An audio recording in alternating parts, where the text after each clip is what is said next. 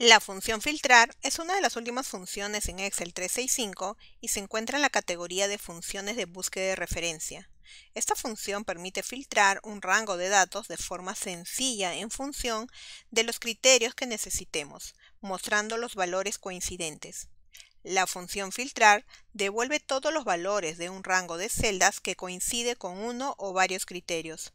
Por decirlo de algún modo, es el equivalente en fórmula a la herramienta filtro de la ficha inicio. La sintaxis de la función es primero el signo igual, seguido del nombre de la función filtrar y entre paréntesis los argumentos matriz, condición o incluir y sin datos o también si vacío, donde el primer argumento matriz es obligatorio es el rango o matriz para filtrar. El siguiente argumento, condición o incluir, también es un argumento obligatorio. Es una matriz booleana cuyo alto o ancho es el mismo que el de la matriz. Es la expresión que indica la condición a evaluar. En este argumento debemos introducir las condiciones que queremos aplicar a la búsqueda y filtrado de datos.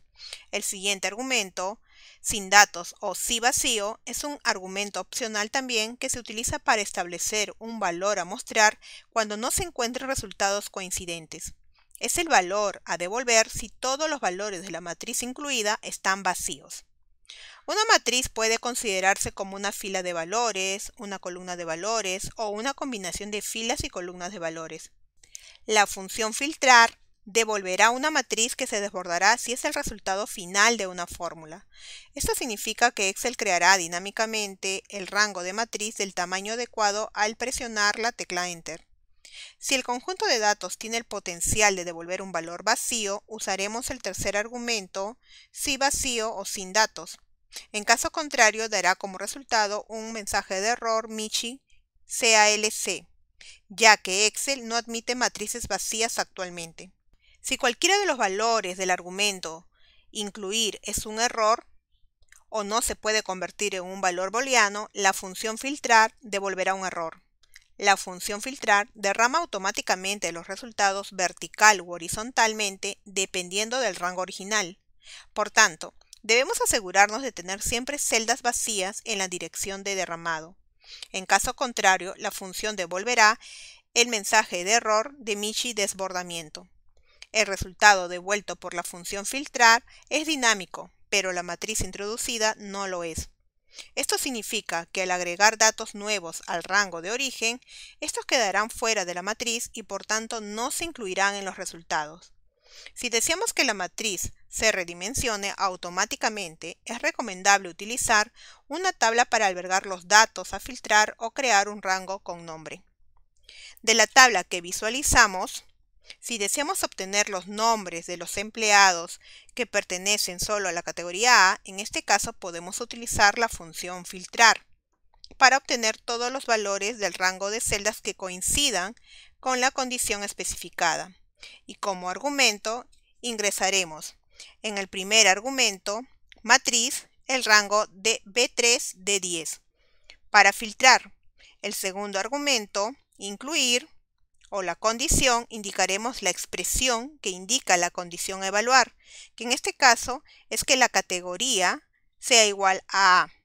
Ingresamos por eso el rango de la categoría, que es de C3 hasta C10, igual a, entre comillas. Y como tercer argumento, ingresamos el valor a mostrar cuando no se encuentran resultados coincidentes, que será el texto no hay datos. La función devuelve la lista de empleados que pertenecen solo a la categoría A como podemos visualizar. Para explicar el uso de la función filtrar, vamos a realizar un ejemplo. En la siguiente lista de datos se muestra el nombre, el curso y la calificación. Utilizando la función filtrar, queremos obtener todos los valores de esa tabla que cumplan el criterio establecido. Deseamos obtener todos los alumnos del curso de Excel. Es decir, queremos filtrar según el criterio de que el curso sea igual a Excel. Para ello, primero seleccionamos la celda F5, donde insertaremos la función.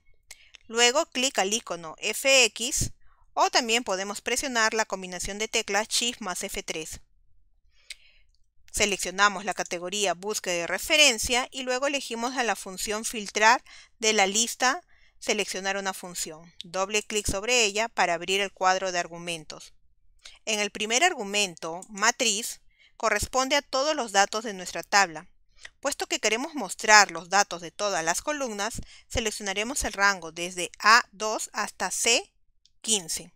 O también podemos escribir directamente el rango de celda. Luego pasamos al siguiente argumento, incluir. Aquí establecemos el criterio, la condición que el curso sea igual a Excel. Entonces será la coincidencia de los valores de la columna curso con el valor de la celda G1. Seleccionamos el rango desde B2 hasta B15 que corresponde a curso, luego el signo igual a la celda que contiene el texto Excel, porque deseamos solamente aquellos alumnos que lleven el curso de Excel. Clica la celda o escribimos G1. Así indicamos la condición que queremos aplicar a la búsqueda y filtrado de datos. El último argumento, que es sin datos, es opcional como lo hemos mencionado y lo podemos dejar en blanco por el momento. Finalmente, clic al botón Aceptar. La función muestra los resultados que cumplan con la condición, es decir, solamente aquellos alumnos que llevan el curso o que están matriculados en Excel. Si cambiáramos el valor de la celda G1, donde hemos escrito el curso, automáticamente se actualizarán los resultados y se mostrarán los correspondientes. Por ejemplo, si cambiamos ahora en vez de Excel, vamos a colocar el curso de Power Pivot, podremos apreciar que automáticamente nos aparece la lista de aquellos alumnos que están matriculados o que llevan ese curso. Pero, por ejemplo, si seleccionamos la celda G1 y ingresamos un curso que no exista en la tabla, por ejemplo, Corel, nos va a aparecer un mensaje de error de Michical. Es muy sencillo solucionar este error. Para ello solo tenemos que utilizar el tercer argumento de la función filtrar. En el ejemplo, vamos a modificar la fórmula para que cuando no se encuentren valores según los criterios especificados, se muestre el texto no encontrado. Primero seleccionamos la celda F5 donde insertamos la función. Clic al icono FX para abrir el cuadro de argumentos y editar la función.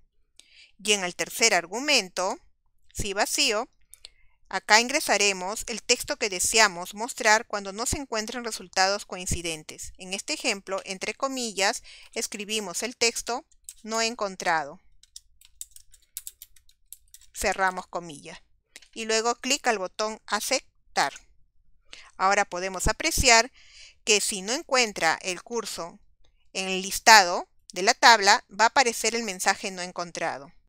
Si volvemos a cambiar el texto de la celda G1, es decir, el curso, por ejemplo, de nuevo por Power Pivot, vuelve a aparecer el listado de aquellos alumnos que llevan el curso. De esta forma nosotros podemos utilizar la función filtrar en Excel y en las próximas lecciones seguiremos viendo más funciones en Excel.